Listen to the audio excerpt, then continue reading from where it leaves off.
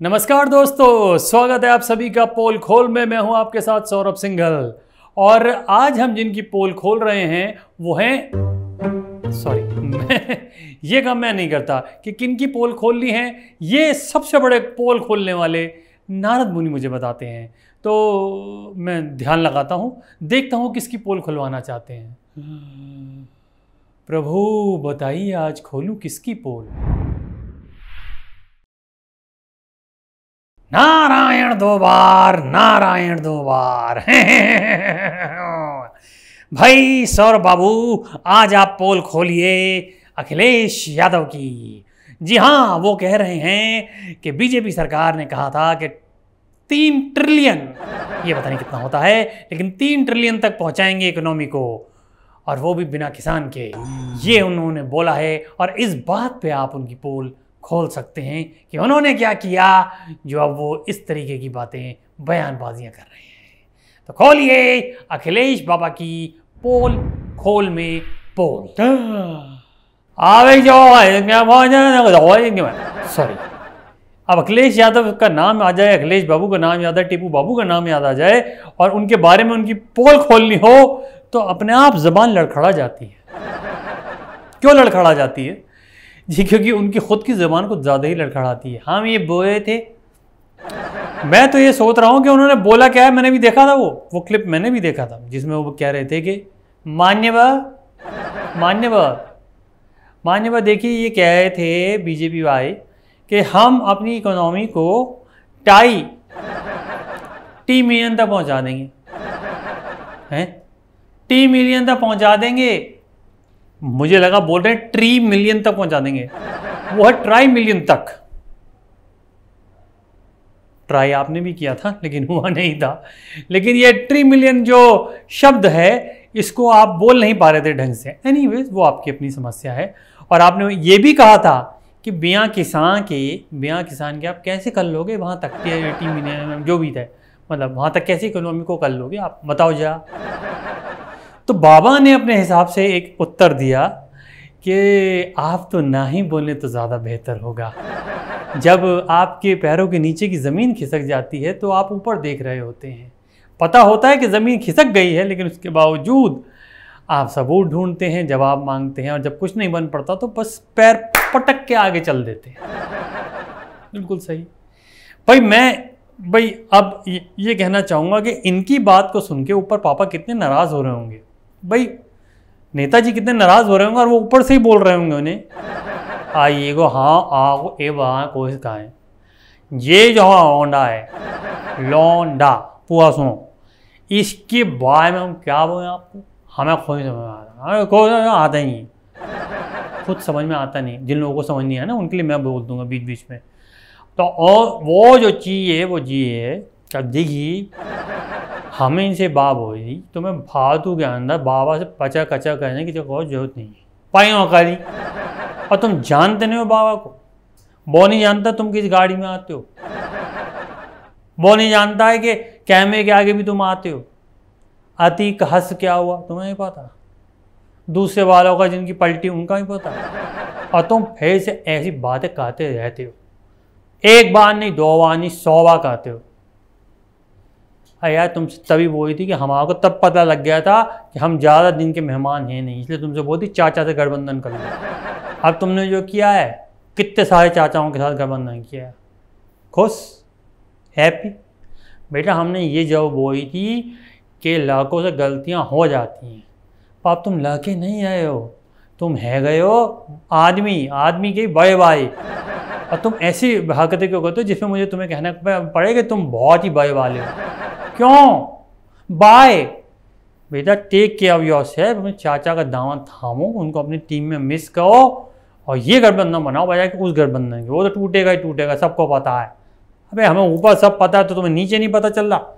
अजीब सी बात कर रहे हो यार। ये सलाह ज़रूर दी होगी नेताजी ने, सपनों में आके।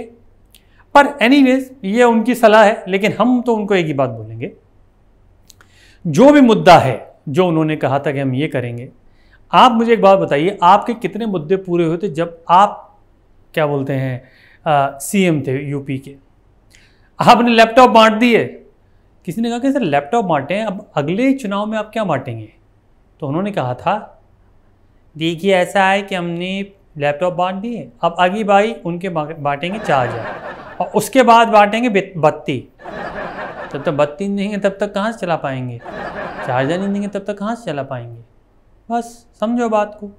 आपने काम पूरे किए, रोड बनवा दी, हाईवेज बनवा दिए, एयरपोर्ट बनवा दिए, जेवर बनवा दिए, सोना बनवा दिया, लेकिन सब फाइलों में। सर, फाइलों में अलग बनते हैं और रियलिटी में अलग बनते हैं। गलत तो नहीं कह रहा हूँ मैं आपसे? तो बस वही बात है, सर। कि जो सही है, सही को सही कहना सीखिए। अगर मैं लंबे लंबी छोड़ने में लिस्ट में आ जाऊँ तो आपका तो ये कि आप हर जगह, जे वाला पुल, जो हमने फीता काटा था, जे वाली वोट जो हमने बनवाई थी ये जेबा के अंदर तो हमारा ही तो किया था, है, हमने तो ये पास कब आया था। पर फिर वही बात आ जाती है कि फाइलों में काम कंप्लीट होना और रियलिटी में काम कंप्लीट होना बड़ा फ़र्क है, सर। कोई बात नहीं, लेकिन मैं आपसे एक बात और कहना चाहूँगा कि सर, अखिलेश जी, आइंदा अगर आप कोई भी बात, कोई भी मुद्दा सदन में उठाएँ या लोकसभा में उठाएँ या फिर जहाँ पे भी आप उठाना चाहें, प्रेस के आगे उठाएँ तो एक बात का ज़रूर ध्यान रखें। ये यूपी के कट्टे हैं ना, ये पीछे भी चलते हैं। आपने तुफ करके मारा और पता लगा, अरे हम कहाँ हैं? सिपा चाचा कहाँ सिपा सिपा और पता लगा। मैं बोल नहीं रहा हूँ कुछ। जो आपको समझना आप समझिए, लेकिन मैं कुछ बोलूँगा नहीं आपसे। क्योंकि वो प्राण साहब का डायलॉग है ना, हम बोलेगा तो बोलोगे कि बोलता है। हाँ हाँ हाँ। वो, इसलिए नहीं बोल रहा हूँ मैं। पर एक बात आप हमेशा ध्यान रखिएगा, और हमसे ये बात आप बार बार दोहराते भी रहिएगा क्योंकि हम आपके पास ये बात दोहराते रहेंगे कि भैया, ऐसा है, आप विपक्ष में हैं, वो पक्ष में हैं। हम चाहते हैं कि आप अच्छी राजनीति करें, अच्छी तरह से राजनीति करें, क्योंकि अगर एक तरफ़ से सिर्फ़ चीज़ें होती रहेंगी और आप इधर से चीज़ें क्वेश्चन नहीं करेंगे तो वो भी गलत है। विपक्ष का मतलब ये होता है कि विपक्ष, अटल जी ने कहा था कि अगर विपक्ष मज़बूत होता है, तभी जाके जो पक्ष होता है, वो सही से काम कर पाता है। तो आप अपना काम सही से करेंगे, तभी ये बहुत सही काम कर पाएँगे। और अगर आप नुकताचीनी करेंगे तो फिर ना उधर काम हो पाएगा। इनफैक्ट उधर तो काम हो ही जाएगा, लेकिन आपके बिना होगा। और फिर आपकी सही बात को भी आदमी दबा देगा कि नहीं यार, ये बंदा तो हमेशा ही हर काम में अड़चन, हर काम में रुकावट, हर काम में रोड़ा, हर काम में कुछ ना कुछ दखल अंदाजी करता तो इस वजह से आपको अलग कर दिया जाएगा। मतलब अनसुनी कर दी जाएगी बात। लेकिन आशा करता हूँ कि आप सही काम करें, सही तरीके से काम करें, और ट्राई मिलियन की तरफ़ आप भी एक हाथ बढ़ा दीजिए ना। आप भी सजेशन दे दीजिए कि किस तरीके से बढ़ेगा। मेरी बात समझ में आ रही है आपको? क्योंकि मैं तो बिल्कुल क्लियर बोल रहा हूँ। जब आप नेताजी की सामान लेते थे तो मेरी क्यों नहीं समझेंगे? अब मैं नेताजी से बुलवा दूँ?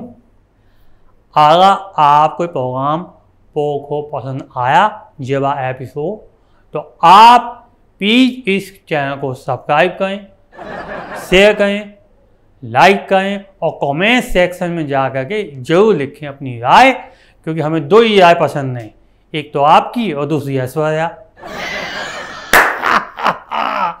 मुझे पता था आप बोलेंगे, दूसरी राय कौन सी है?